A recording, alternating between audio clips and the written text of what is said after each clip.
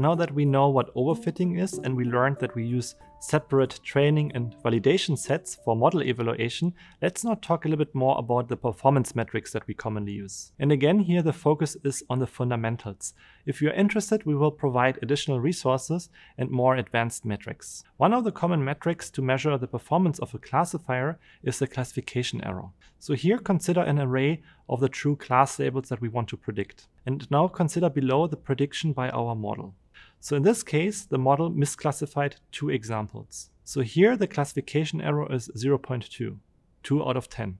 Now the classification error and the classification accuracy are actually closely related.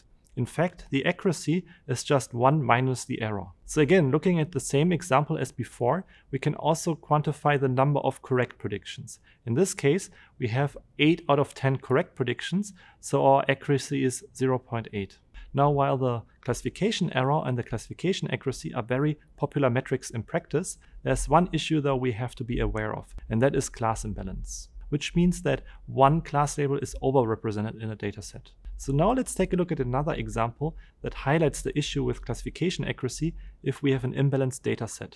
So here at the top, we now have a dataset where we have eight labels 0 and two labels 1. So here the class label 0 is overrepresented in our dataset. So even if our model doesn't do anything useful and always outputs 0, in this case, we would actually measure a classification accuracy of 0.8 or 80%.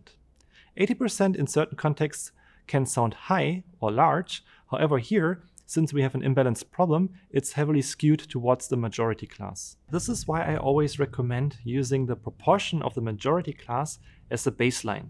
So here the baseline would be 80%, and the goal of the classification algorithm is of course being better than 80%. There are also special purpose evaluation metrics for imbalanced problems, which we will share in the additional resource section. Now we talked a lot about binary classification problems, but how can we evaluate the performance of models trained on more than two classes? So for example, consider this data set where we have now four different class labels, 0, 1, 2, and 3. At the top, we again have the true predictions, the correct labels, and at the bottom, we have the predicted labels by our model.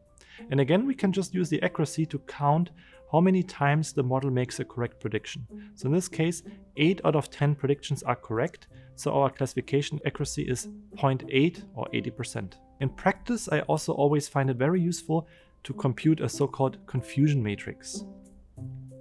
A confusion matrix is a matrix that shows the predicted labels and the true labels. So each cell counts how many times the predicted and the true label match. So the diagonal of this matrix shows all the correct predictions. So the times the predicted label 0 matches the true label 0, and the predicted label 1 matches the true label 1, and so forth and the off diagonals are all the different ways that the model can make an error.